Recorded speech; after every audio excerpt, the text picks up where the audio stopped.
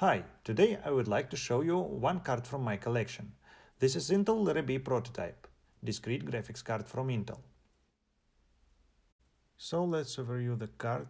It has 2 gigs of RAM. Here you can see power connectors, some labels and video outputs. This card is not the first discrete graphics card by Intel. I have Intel 740, both PCI and AGP, in my collection as well. One card is in the box. You can see some useful information on the back. But uh, let's return to our Larrabee card. I will put it into test stand and launch it. Some lights are on, the fan is running at full speed, but there is no picture on monitor. Okay, let's try with other graphics card. I will put this GeForce 480 signed by Jensen Huang in the first slot. Let's open Device Manager.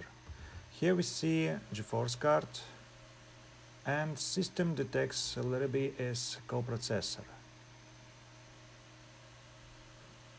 We have no drivers installed. You see this? And uh, here are vendor and devs IDs.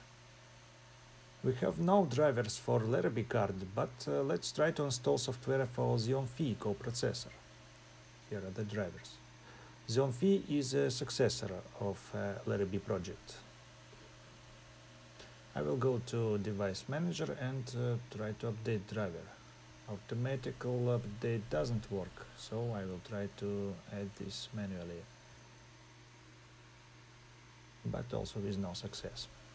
There is a special command in Xeon Phi software called miccheck, which detects installed cards, but you see, no cards.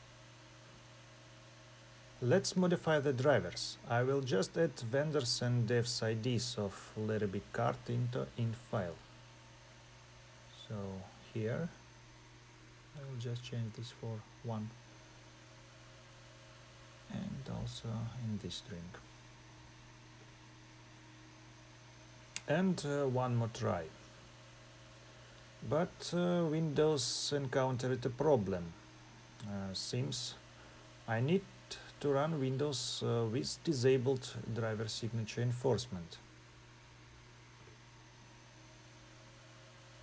Okay, let's repeat and install the drivers. Install this driver software anyway and we got it. So now the card is listed in Device Manager as Xeon Phi coprocessor. One more try with miccheck, but no devices. The card has an instance of uh, FreeBSD inside, so maybe we just need to start it first. But uh, after a few minutes we got this error. Let's check the card status. It is trying to boot but with no success. So I will stop it. And now the card status is ready. So without the correct driver, I cannot get this card running. So I need the correct drivers.